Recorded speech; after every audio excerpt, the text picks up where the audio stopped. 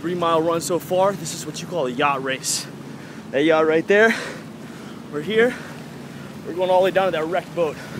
We are one mile sprint versus a yacht I'm all the way down there. Human versus motor, victorious.